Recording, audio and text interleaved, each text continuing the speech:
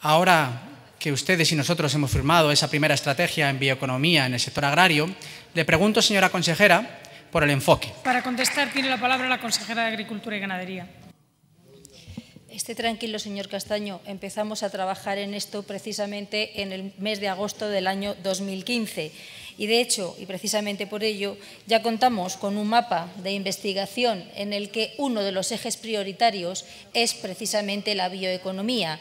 Y en ese marco es en el que hemos seguido trabajando teniendo en cuenta, por un lado, la Estrategia Nacional en Bioeconomía hasta el año 2030, que es la que sirve de referencia, y también, y en este momento, precisamente, la adaptación de la Estrategia Europea de Bioeconomía, que es en la que se basará los futuros presupuestos y propuestas de la PAC.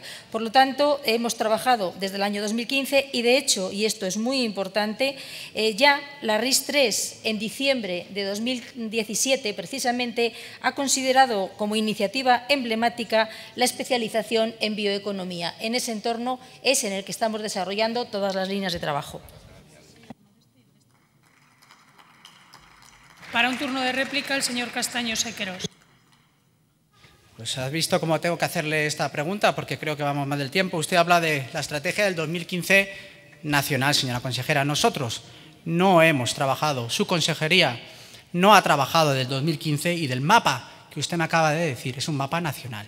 Es un mapa nacional. Señora consejera, te voy a dar una serie de muestras. Por ejemplo, en cuanto al tema de los grupos operativos, que sabe usted que tan necesarios son para desarrollar la bioeconomía, porque son eh, grupos eh, formados por el sector agrario y por las universidades. Ahora mismo, una respuesta eh, que, usted, que ustedes, su consejería, nos dio a nosotros son uno, dos, tres, cuatro, cinco, seis, siete grupos y ninguno de ellos, ninguno de los grupos operativos, eh, está relacionado con la bioeconomía circular. Otra muestra de que su consejería anda perdida, señora consejera, perdida. En una respuesta que nos dieron a nosotros sobre el tema de los purines, que sabe que tan importante es la gestión, hablaban de ellos como un vertido.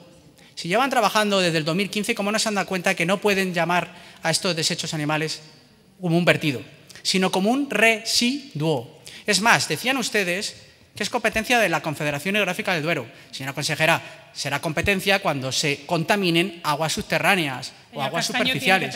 Pero la gestión es de su consejería. Por lo tanto, no, no están trabajando desde el 2015. Sí hay un marco nacional, pero ahora mismo su consejería no tiene hecho absolutamente nada, señora consejera. Para un turno de dúplica, la consejera de Agricultura y Ganadería. Se equivoca, el mapa de investigación agraria y agroalimentaria es un producto de la Junta de Castilla y León y hecho por los técnicos de la Junta de Castilla y León. Y en el marco de este proyecto, precisamente, trabajando en investigación abierta. Estamos trabajando con 40 institutos de investigación y centros tecnológicos, universidades y más de 20 socios en algunos de los proyectos precisamente de bioeconomía, la mayoría socios internacionales. Mire, eh, le digo que venimos trabajando y es porque venimos trabajando, no tengo por qué engañarle.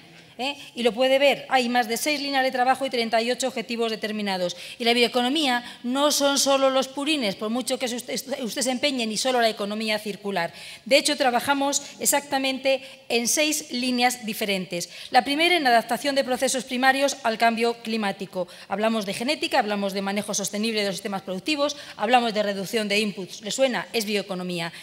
Una segunda línea de valorización de residuos y sus productos. Y aquí sí hablamos ya de economía circular. Creo que es importante el trabajar como estamos en identificación de residuos de la actividad agrícola, ganadera, de la industria agroalimentaria, para transformación en bioproductos de alto valor y sostenibilidad ambiental.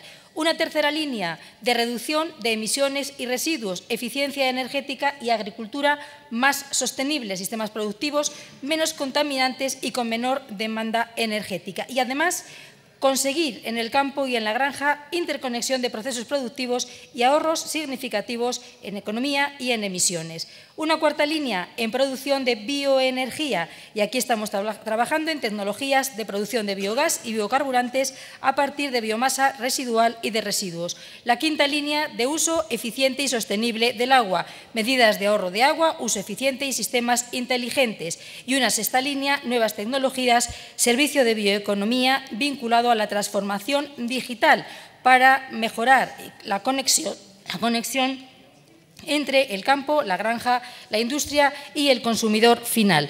Por lo tanto, lecciones las justas. Yo siento darle un disgusto, pero la bioeconomía ni la ha descubierto usted ni la ha descubierto su grupo. Venimos trabajando desde hace tiempo y ¿sabe por qué? Primero, porque trabajamos directamente para, para apoyar y aprovechar todo lo que tiene de potencial el medio rural y además para prepararle y ser más competitivo y más productivo al mismo tiempo que contribuya a reducir el impacto ambiental. En todo esto se está trabajando desde la Junta de Castilla y León. Muchas gracias.